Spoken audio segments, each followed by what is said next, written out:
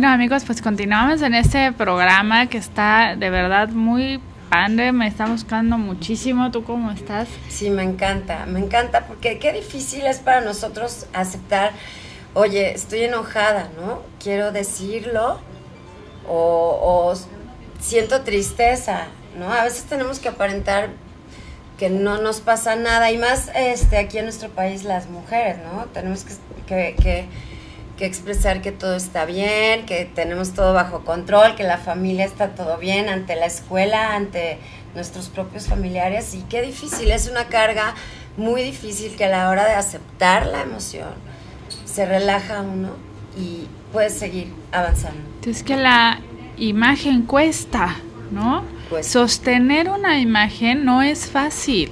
Sostener una imagen no es... Me cuesta, no nada más la emoción, me cuesta emocionalmente, me cuesta físicamente y a veces me cuesta económicamente sostener una imagen que no soy. No, y a veces qué miedo decir, decirlo, ¿no? Decir, oye, pues este, ahorita me estoy sintiendo triste no sé cómo va a reaccionar la gente. A lo mejor yo puedo pensar que ya no me van a querer si siento algo. O si me enojo, a lo mejor ya no me van a querer si me molesto, si digo lo que me molesta. Sí, esas son creencias, es decir, a partir de mi creencia, ¿no? Generamos el pensamiento y entonces actuamos. Sí. Si yo tengo la creencia de que si yo me muestro tal cual soy, entonces el otro me va a dejar de amar, entonces lo que voy a hacer es ponerme una máscara para ser la persona que esa persona cree o quiere que sea yo. Y entonces lo que va a hacer es que me voy a aislar de mí, me voy a alejar de mí. Y entonces al paso del tiempo, cuando yo me vea en el espejo, voy a decir, bueno, ¿y tú quién eres? ¿En dónde has estado todo este tiempo?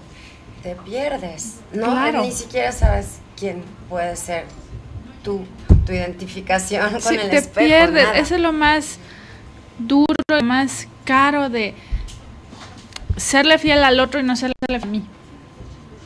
¿No? Decir, sí, así es la vida. O sea, a veces nos van a dar lo que necesitamos y a veces no. No siempre. La vida no nos dice, a ver, ¿qué necesitas? Toma, aquí está para que seas Claro. feliz. Es, ve por lo que quieres, lucha por eso y entonces igual y lo consigues, igual y no. Pero estar en la vida es ir hacia lo que necesito. Sí, es como lo decíamos el otro día, ponerle acción. Esta acción nos va a dar seguridad ante la vida, ¿no? O sea, yo voy a actuar de cierta manera porque yo creo que está bien hacer esto y eso nos empieza a dar seguridad. Claro, porque aunque lo consiga o no, estoy en un lugar distinto que cuando empecé. Así es. Que cuando me quedo sentada y viendo cómo pasan las cosas y viendo cómo pasan mis necesidades y yo no las puedo satisfacer, me voy hacia un punto todavía más depresivo y de muchísima más enojo y frustración.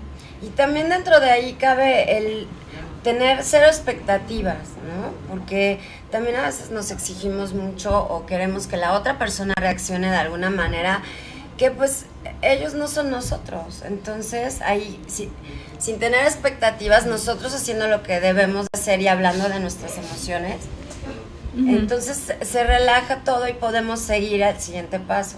Claro, es como dice el dicho, ¿no? Siembra expectativas y cosecharás frustraciones. Así es. Sí. ¿no? O sea, no podemos estar en este em, rollo de, sí, claro, eh, él va a hacer lo que yo quiera o la persona me va a leer la mente, o, porque no es cierto. Las cosas no van a ser como yo me las imagino, son como son.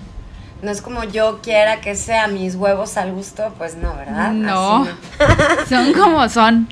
Oye, pues hay que hablar un poquito de la culpa, porque ese es uno de los sentimientos y de las emociones que nos atrasan muchísimo en nuestra evolución y mucho más como mujeres.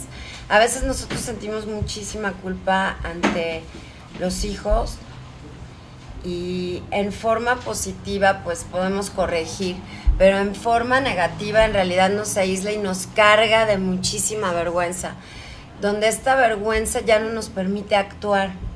Y de verdad es muy importante para nosotras las mujeres que tengamos una conciencia bien, bien de qué es lo que nos está generando culpa o si nos la generó una persona ajena o si nosotros mismos estamos teniendo estos como demonios para seguirnos conmiserando, ¿no? Entonces la culpa neurótica puede ser para... ¿Qué es lo que me hace? O sea, yo tengo culpa, estoy dándole vuelta y vuelta y vuelta al asunto y entonces ¿a dónde llego? Al hoyo. Ahí al hoyito que te estás haciendo así como... Claro, porque si yo estoy pensando, es que fui una mala persona, le grité o hice o eh, no supe cómo hablar o le dije cosas, en fin, lo que sea que nos esté generando una culpa neurótica. Y entre más le doy vuelta y más le doy vuelta, más grande se hace la culpa. Y entonces más pesa. Sí. Y entonces si ando como el pipila por la vida, cuando te ve a ti, que es con la persona con la que yo siento culpa, una de dos, voy a tratar de compensar a costa de lo que sea, para que tú estés contenta. Eso está muy peligroso, ¿eh? Hay gente que se pone de tapete con tal de, pues, de cesar la culpa. Y la verdad, este, a veces hace hasta lo que no debe, en vez de repararla de una manera positiva. ¿Cómo podríamos repararla de una manera positiva? pidiendo perdón, hablando de las cosas. Reparando el daño. Reparando el daño. De una forma funcional. Es decir, yo hasta aquí puedo, pero no puedo sacarme un ojo para que tú estés contenta. Claro. O sea, yo puedo ir y tratar de hacer a mis posibilidades lo que sea necesario para repararte a ti el daño que yo te hice. Porque a veces un perdón no es suficiente. Claro. Pero eso no quiere decir que yo me tenga que desgarrar en el intento para que tú de veras ya me digas, bueno, te perdono. Otra vez ahí entra mucho la aceptación de cuando uno de veras comete un error.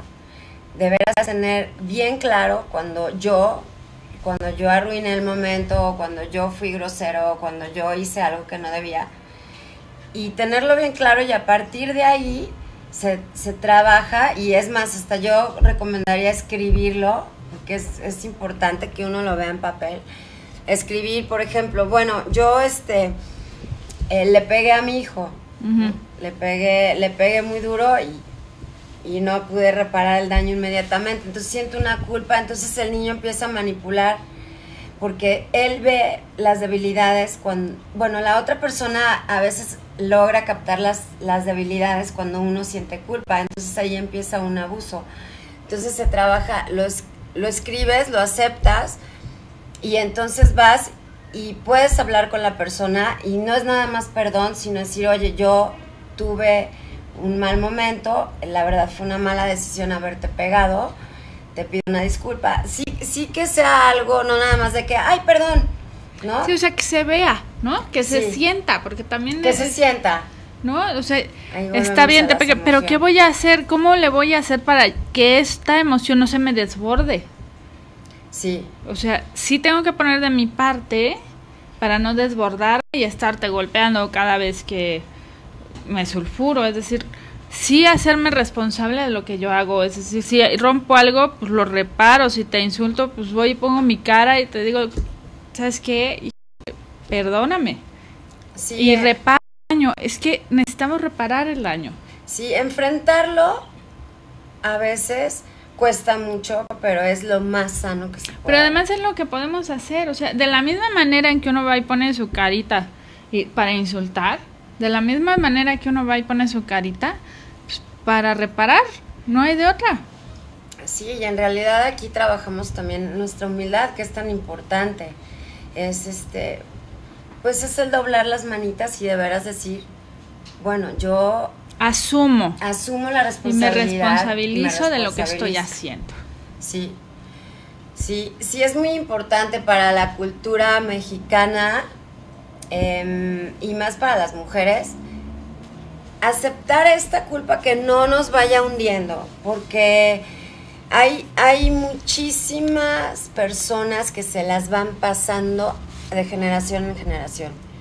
Y ya es, ya es una familia ya toda culpígena, donde no hay, no hay una acción y no hay una evolución, ni, ni pueden salir adelante, se estancan ahí. Y entonces hablamos de mucha disfunción y entonces hablamos también de muchos tabús. Muchos tabús. ¿no? Y hablamos de estas familias que tienen muchos secretos. Sí. Y no le digas a tu hermano, no le digas a tu papá, y no le digas a tu prima, y no le digas, y entonces eh, todo el mundo sabe, Menos. pero todo el mundo dice que no sabe. sí, sí, es cierto. ¿no? Y Sí. entonces, y de repente vemos si esta ya se embarazó y el otro ya tomó, y, o sea, son familias que no funcionan de manera sana, ¿no? Si nos estamos escondiendo de los sentimientos, si nos estamos con- escondiendo la verdad, si nos estamos con- escondiendo de la realidad, seguramente vamos a vivir en una realidad distorsionada. Oye, y después de la culpa puede venir también la emoción esta que es la vergüenza. Sí, pero O sea, la- bueno, esa es otra, diferente. sí, porque la vergüenza toca el ser, la culpa toca el hacer. Ok. Pero la vergüenza me toca a mí como esencia, es decir, yo siento vergüenza de ser quien soy, La vergüenza de ser. que eso está como mucho más difícil porque hiere el alma. O sea, si yo me avergüenzo de mi esencia, entonces voy desde la vergüenza a hablar contigo, desde el no soy suficiente, desde el yo no puedo llegar allá, ¿me explico? Es del ser y en el ser tenemos que ir de verdad honrando la herida.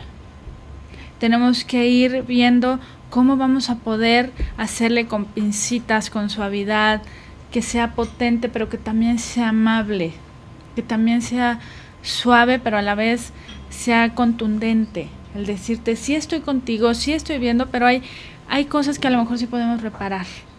Y hay cosas que no, y tenemos también que aprender a vivir con las heridas del alma, ¿no?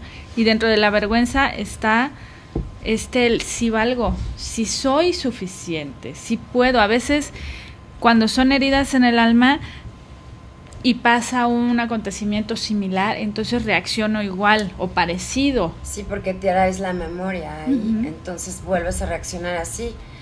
Pero cuando la tenemos consciente, mi, mi misma conciencia, pues, que esta que está despierta, me dice, sí, pero no es igual. Sí, Hay lo algo que ya sí. pasó, ¿no? También podemos que sí me duele cuando toco mi herida de abandono, ¿no? Que cuando alguien me deja plantada, por ejemplo, Claro, toca mi herida de abandono, claro. pero no la toca desde el mismo lugar. Que eso es la bendición que tiene el proceso terapéutico. Sí, exacto. Que aunque yo toque mi herida, ya no la toco igual. Y entonces me puedo dar cuenta que lo que estoy sintiendo yo en este momento es esta angustia del ser abandonado, del Ajá, no ser amado. Bien, bien, también que fue en el allá y entonces. Ahorita como adulto o con un proceso terapéutico ya reacciono diferente, ya tengo más madurez emocional ante, eh, ante esas cosas. Claro, porque puedo ver que lo que traigo en el pasado, cómo lo estoy viviendo en el aquí y el ahora, Claro. porque no puede ser de otra manera. Mi historia la vivo en el aquí y el ahora. Claro. Y, Pero y- cómo la reacciono, cómo la elijo actuar es diferente. ¿Y qué te Sí. parece si hablamos de esto? Que está súper interesante, pero después de un corte. Gracias. Sí, regresamos.